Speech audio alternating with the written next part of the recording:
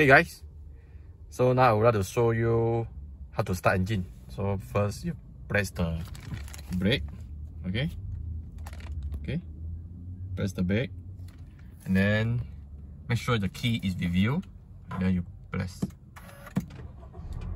Okay, this is how you start the engine.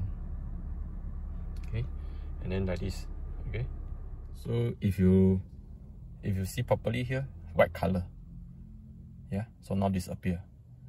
So remember when i driving the car it is green color. So this is a honda honda design.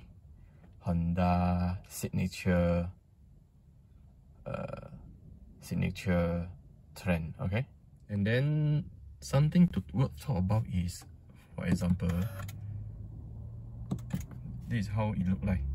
Okay when you start the engine this is how it look like okay? As I mentioned driving time if you turn to green color yeah okay?